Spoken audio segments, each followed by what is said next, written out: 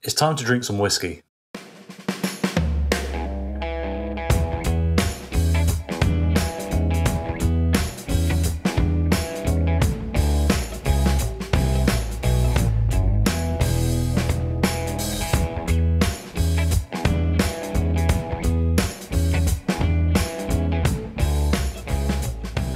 Welcome back to the channel and welcome to some whiskey tasting nonsense. If you're into your whiskey and specifically your American bourbon whiskies, then you may have noticed over the last, well, couple of months through to the last couple of years, there's been quite a lot of noise made, at least on YouTube, about this. This, of course, being Wild Turkey 101, and to be honest, it's passed me by a little bit. When it first came out, I looked at it, I read up on it, and I thought, I'm not too bothered. In essence, Wild Turkey 101 is the same as the regular, everyday, bottom of the barrel, pardon the pun, Wild Turkey, except it's bottled at 101 proof rather than the regular 81 or 50.5% ABV or 40.5% ABV. And to be honest, the regular wild turkey, I can take it or leave it. It's not an offensive drink. It's maybe a bit too easy. I just I find it a little disinteresting, if anything else. But apparently, I've been stupid, as often is the case, and this allegedly is about the best bargain bottle there is out there. So today, we're going to find that out. First, we're going to taste this, and then we're going to pitch it against a couple of my other favourites that I've got in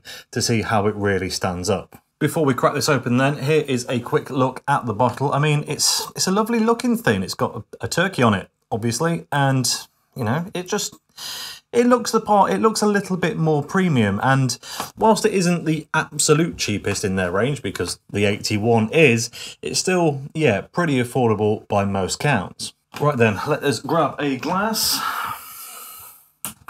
Glencairn of course and then let's get this open. Didn't make a great noise sadly. But that doesn't matter. What matters is in here Just going to pour a small amount to start with because, well, you know, we want to taste this against a few others. And if I drink too much of this, well, it's not really going to matter, is it? So now, I'm going to be honest, it's been a long time since I've had that original Wild Turkey 81. And I go as far as to say, certainly by memory, it doesn't the aromas aren't very similar. It's quite, I mean, it may be due to the fact that it's a fresh bottle, but it's definitely not hiding that increased ABV. It is quite sharp on the nose, and spice is what's really coming through of course, there is some traditional, you know, the corn derived bourbon sweetness, some caramel, some vanilla, some what have yous, but yeah, it's got a really prickly kind of booze and rye peppery spice in it that I just don't really remember from well the original version. It's um not unappealing, but definitely feels a lot more complex. What I will say though, based on the aroma, it's not standing out to me as a wow, this is an incredible cheap buy. It's it's okay. That's all I can really tell you. Um, let's get into it, shall we? Cheers. First up, it's got good legs on the glass. I don't know if you can be able to see that, but not that it really matters, of course. But there's definitely some viscosity to it. Flavour wise, okay. I'm starting to understand a bit more, I think, about where some of the hype comes from. I'm not wild instantly, I'll be honest, again, but it is surprisingly depthy. There's some sweet notes in there. There's a little bit of a citrusy hit. The booze is there. It's prickly. It blends in again with that kind of rye pepper spice that was on the nose. And I have to say, actually, after a couple of sips, I think I'm starting to get it. It's well, it is undoubtedly a step up from the original. If on the original you were starting to think it was a bit tame, a bit disinteresting, a bit whatever, yeah, to say that this is the same stuff, just not as diluted, well, that is a surprise. And I did some research, and some good people out there, including the guys over at the Whiskey Vault, uh, massive channel, I'm sure you're all aware who they are, they did the test. They actually added some water so to equalize the ABVs and got this one down to 40.5 and they said it was. It's the same. It is exactly the same. But by bottling it that bit stronger, it is a notably, notably different drink. And yeah, it works. It does work because it's got this kind of rich, velvety, caramel vanilla thing right up front.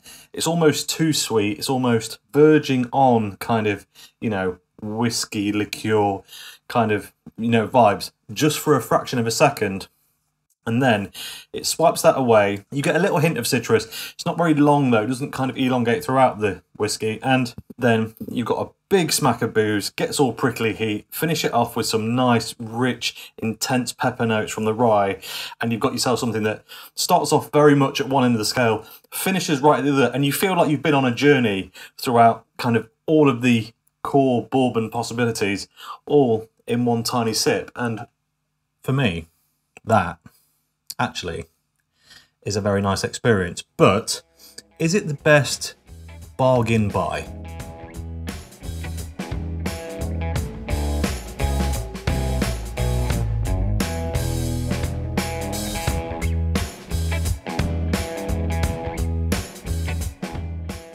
So now it's time to put the Wild Turkey 101 head to head against two other of my favourite kind of relatively affordable, easy, accessible, easy to get, easy to buy bourbons. Starting off, Bulleit Bourbon. I think this is going to be a really good comparison because this has got quite a high rye content for a regular, I guess, everyday, relatively cheap or affordable bourbon.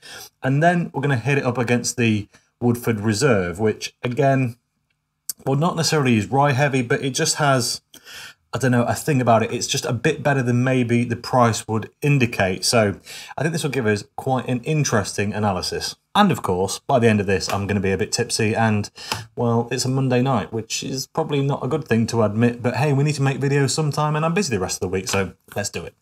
Two more glasses procured and, just for good measure, some water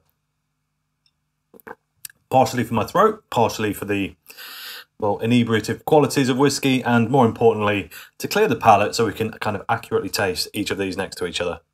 Given that it's open and, to be honest, nearly gone, the Woodford is going first, so that one made a better noise, right? We only need tiny, tiny little drams of these, and actually I'm going to put these both in at the same time. We're opening two bottles today because this Bulleit is uh, is unopened, but that is not a problem unless I fail to get into it, of course. Okay. Cork sound on the Bulleit, not as good as the Woodford, but still better than the 101. The cork sound makes no difference to the quality of what it is, it's just my personal audible enjoyment. Put a bit more of the uh, Bulleit there. Let's uh, even things up a bit. So I'm just going to move the bottles out of the way so we can do a little visual inspection. Wild Turkey 101, the Bulleit Bourbon, and Woodford Reserve. Visually, this is really hard to tell. They're very, very similar colour, but I reckon yeah, the Woodford's the darkest out of the three by a hair, but it's all pretty consistent there. So, aromas. That wild turkey's opened up a bit, as you would expect now. It's been in the glass a moment. Um, still very prickly, though. Really is. That, that heat, that booze heat gets to you on the nose a bit. And the Bulleit has a bit more of a deep and dark thing going on. A few licorice notes, perhaps, even some dark berries. The Woodford, kind of similar on the aroma to the wild turkey, has to be said. It's got a bit more of a. I don't know that I would necessarily have described it as this because it's not a common trait in bourbon, but it's got a little bit of an antiseptic vibe, something that's quite common in heavily peated Scotch whisky, and it feels dull a little actually. The Woodford compared to the two. Yes, it's an open bottle; it's got a lot gone out of it truthfully, it wasn't opened all that long ago. It's been had up pretty hard, this one, uh, due to a holiday and people coming over and that sort of thing. So, you know, it is pretty fresh still. And yeah, well, let's just get straight into it. What are the ABVs on the others? Of course, that is important.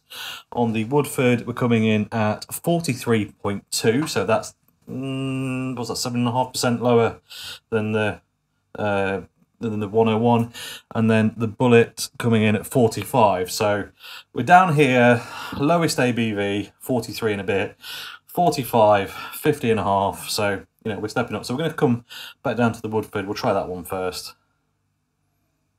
This is a super easy drinker, Woodford Reserve. It just a lot of people save it for cocktails, they're not that bothered about it. I get it, I understand why.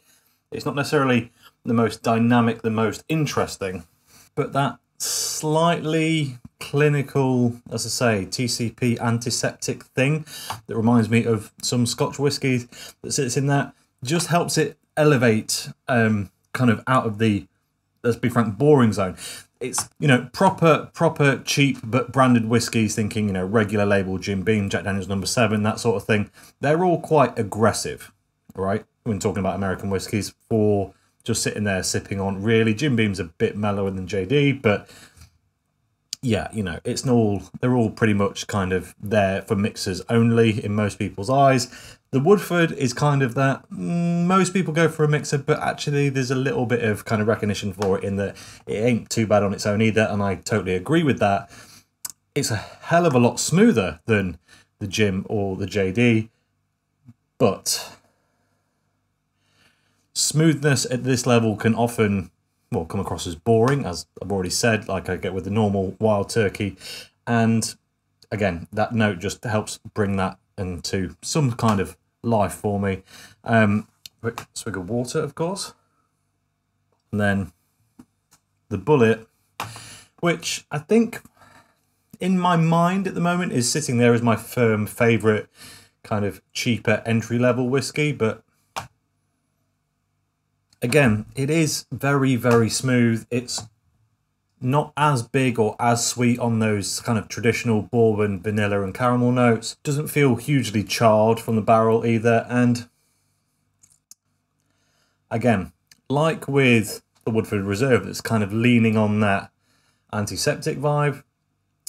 The Bulleit is very much leaning on the rye pepperiness that's in there. It just, again, elevates that one bit of the drink to something that starts off as fairly nondescript, fairly tame, thoroughly enjoyable, of course, but just nothing outrageously brilliant either, into something, yeah, quite quite drinkable, if nothing else. Right then, now I've had those two, back to the question. Is Wild Turkey 101 right now the best budget bourbon? I think this will tell us the answer.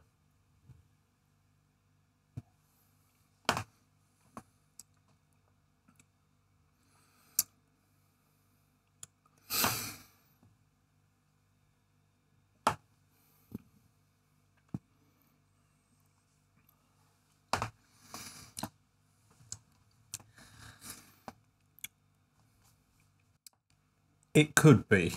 And I know that's a bit of a cop out. I'm a bit disappointed that in myself, more than anything else, that I've not got a bottle of the regular Maker's Mark in to throw that up against it because I feel like it maybe has more similarities to that. But that said, against these two right here, right now, which one am I going to choose to go away and drink?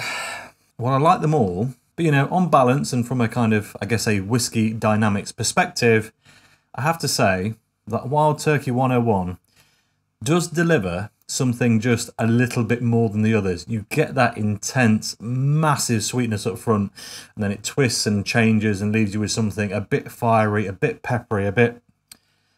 Yeah, it might just be a better all rounder, and I think that's the takeaway, really. If you want to have a cheap budget bourbon and still experience a raft of all the bourbon flavours, yes, the Wild Turkey 101 probably is the one to go for. If you like a bit more rye pepperiness and you want to focus on that, but you're not ready for a proper full rye whiskey, the Bulleit. If you're looking for one bottle that you can, you know, throw together in a mixer, not that you can't with all of these because you certainly can, but this is probably the more neutral from a mixing perspective, the Woodford. And also have something just to sit there, pour out, enjoy, sit outside while you're waiting for your low and slow barbecue to finish, which is exactly what I did with this bottle last weekend, which is partly why it's so empty. Yeah, it's not a bad shout either. But yeah, hats off, the internet was right. Wild Turkey 101 is a smashing drink. And that really is all I've got to say about it. So as always, thank you very much for watching. If you enjoyed this video, please like it. If you haven't already subscribed, if you would be so kind. And I'll catch you next time. Gotta choose another drink now. Cheers.